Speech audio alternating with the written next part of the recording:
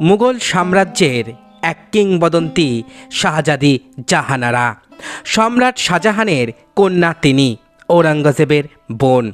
আজকের ভিডিওতে আপনাদের বলব শাহজাদি জাহানারার জীবন বৃত্তান্ত। সাম্রাজ্যের সাধারণ প্রজারাও শাহজাদি জাহানারাকে খুব ভালোবাসত। এমনকি তার জন্য প্রজারা প্রাণ বিসর্জন দিতেও প্রস্তুত থাকত। ঐতিহাসিক রানা সাব্ভি বলেছেন, জাহানারাকে আমরা শাহজাতি আখ্যায়িত করব। নাকি তিনি শাহানশাহ শাহজাহানের কন্যা কিংবা ঔরঙ্গজেব আলমগীরের সহধরা, বরং তিনি নিজেই ছিলেন একজন বিরাট ব্যক্তিত্বের অধিকারিণী, যার পরিচয় তিনি জাহানারা। সাম্রাজ্যের প্রতিটি গুরুত্বপূর্ণ কাজে শাহজাদি জাহানারার পরামর্শ নেওয়া হতো। শাহজাদি জাহানারা জন্মগ্রহণ করেন ষোলোশো চোদ্দ খ্রিস্টাব্দের দোসরা এপ্রিল। জন্মের পরে হুরি খানম বেগম নামে এক দরবারি স্ত্রী তাকে শাহী চালচলন এবং আচার ব্যবহারের শিক্ষা দেন। পরিণত বয়সে রূপে গুণে এক বিদুষী নারী হয়ে উঠেছিলেন শাহজাদি জাহানারা। শের আশআর ছন্দ কবিতা, সাহিত্য চর্চায় জাহানারার পাণ্ডিত্য ছিল ভীষণ। ফার্সিতে তার দুটি গ্রন্থও রয়েছে। ষোলোশো সালে নতুন শহর শাহজাহানাবাদের গোড়াপত্তন হয়, যা এখন পুরাতন দিল্লি নামে পরিচিত।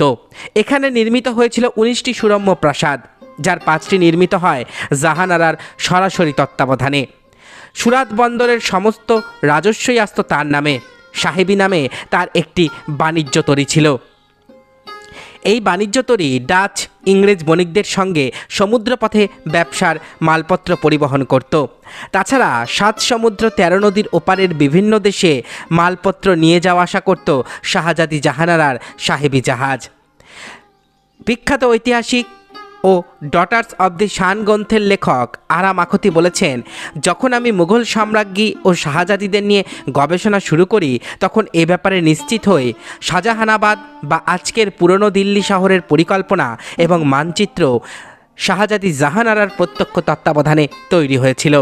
সে সময় সবচেয়ে সুন্দর ও অভিজাত বাজার চাঁদনি চকও শাহজাদি জাহানারার কাছে ঋণী। মোট কথা, পুরাতন দিল্লিতে তার তুলনা ছিল না। দানশীলতা মহানুভবতা এবং জনপ্রিয়তা। সব দিক থেকেই শাহজাদি জাহানারা ছিলেন অদ্বিতীয়া। হেরেমের অভ্যন্তর এবং বাহির সবখানেই তার সৌন্দর্য, রূপ, গুণের চর্চা হতো। ষোলোশো সালে তিনি একটি বড় দুর্ঘটনার শিকার হন। কেল্লার ভেতর দিয়ে হাঁটাচলা করছিলেন। হঠাৎ কেল্লার করিডোরে জ্বলতে থাকা একটি বড়সড় ঘিয়ের প্রদীপ থেকে তার কামিজে আগুন লাগে। এরপর প্রায় এগারো মাস অসুস্থ হয়ে তিনি বিছানায় ছিলেন।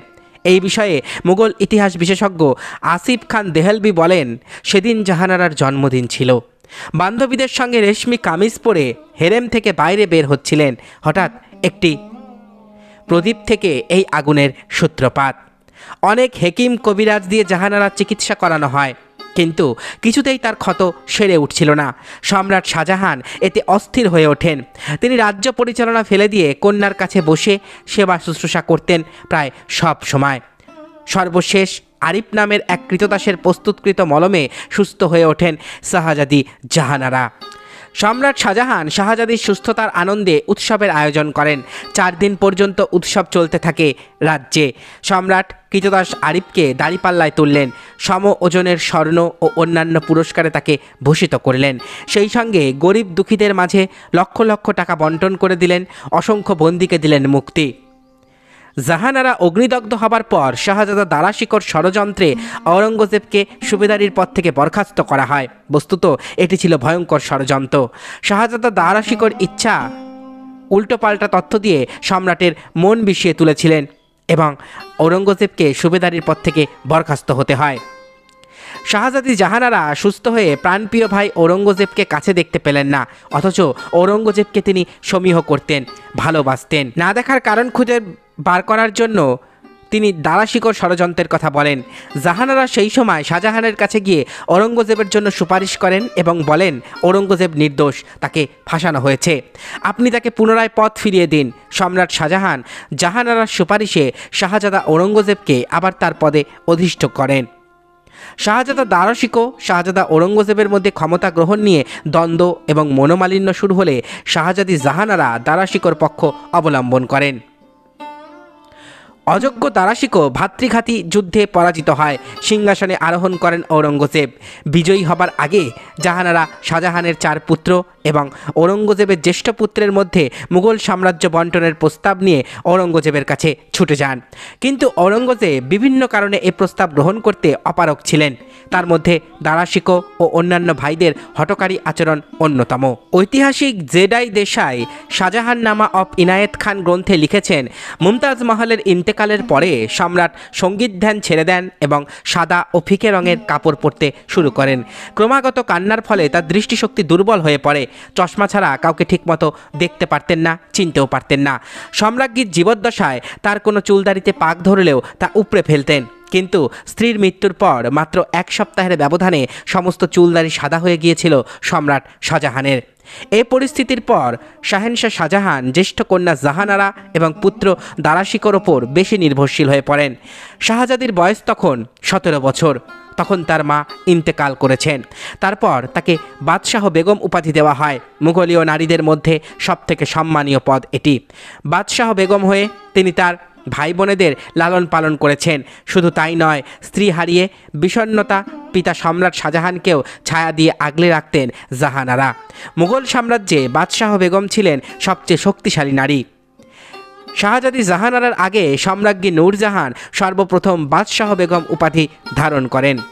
জাহানারা বাদশাহ বেগম হয়ে হেরেমের প্রশাসনিক অনেক কিছুই রদবদল করেছিলেন। তাছাড়া সাম্রাজ্যের আভ্যন্তরীণ প্রশাসনিক এবং পররাষ্ট্র বিষয় সহ নানা বিষয়ে তিনি পরামর্শ দিয়ে পিতাকে সাহায্য করতেন। সেকালেই জাহানারার বার্ষিক আয় ছিল তিরিশ লক্ষ টাকা। বর্তমানে যা অন্তত দুই থেকে তিন বিলিয়ন টাকার সমান। বিপরীত মতাদর্শের শাহজাদি জাহানারাকে কোনোদিনও পরিত্যাগ করেননি সম্রাট ঔরঙ্গজেব, বরং তাকে তিনি বাদশাহ বেগম উপাধিতেই ভূষিত করেছিলেন। এটা জাহানারার পরম সৌভাগ্য কিংবা ঔরঙ্গজেবের মহানুভবতা। তাছাড়া ঔরঙ্গজেব এমনিতেও জাহানারাকে ভালোবাসতেন, বড় এই বোনের কাছে তিনি কোরআনের কারিমের বিশেষ এক পাঠ কণ্ঠস্থ করেছিলেন বলে জানা যায়। জীবনের অন্তিম মুহূর্তে সম্রাট শাহজাহান যখন আগ্রার কেল্লায় চিকিৎসাধীন ছিলেন, তখন জাহানারা পিতার দেখভালের জন্য তার সঙ্গে থাকতেন। আসিফ খান দেহলভি বলেন, ইন্তেকালের সময় মুমতাজ মহল প্রিয়তম স্বামী সম্রাট শাহজাহান জ্যেষ্ঠ কন্যা সাথে ছিলেন। জাহানারার হাত ধরে তার থেকে এ প্রতিশ্রুতি নেন যে, যা কিছুই ঘটে যাক না কেন, জাহানারা যেন কখনোই তার পিতা সম্রাট শাহজাহানকে ছেড়ে না যায়। মাকে দেওয়া প্রতিশ্রুতি রক্ষা করার জন্যই আজীবন পিতার সেবায় দিন কাটিয়েছিলেন শাহজাদি জাহানারা। তিনি আওরঙ্গজেব ও দারাশিকর মধ্যে যুদ্ধ চলাকালে একবার শাহেনশাহকে জিজ্ঞাসা করেন, আপনি কি অরঙ্গজেবের বিরুদ্ধে দারাশিকর পক্ষাবলম্বন করছেন? দারার বিজয়কে কি সালতানাতের বিজয় আখ্যায়িত করবেন? বাদশাহ শাহজাহান হ্যাঁ জবাব দেন। শাহজাহানের এই জবাব ছিল মূলত দারাশিকর প্রতি অন্ধ টানের কারণে। তবে বিপরীতে অরঙ্গজেবের শ্রেষ্ঠত্বের কথাও স্বীকার করতেন তিনি।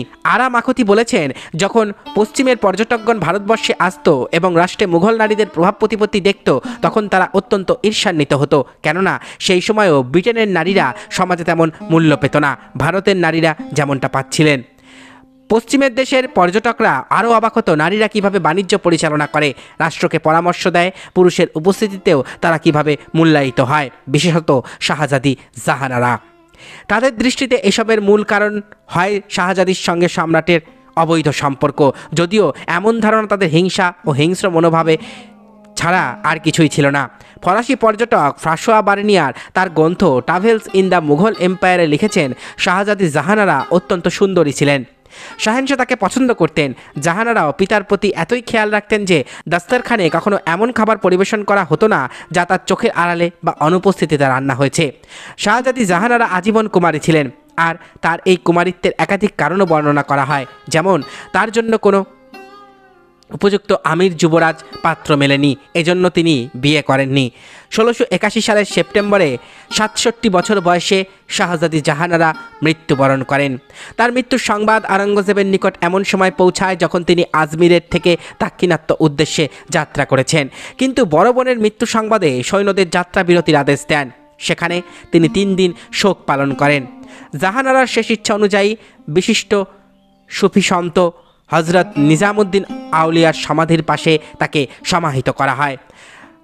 তার শেষ ইচ্ছা ছিল তার কবর যেন পাকা করা না হয়। রানা সানভি বলেছেন, জাহানারা এবং আওরঙ্গজেবের কবর খুব সাদামাটা পদ্ধতিতেই সম্পন্ন করা হয়েছিল, পাকা করা হয়নি তাদের ইচ্ছা অনুযায়ী।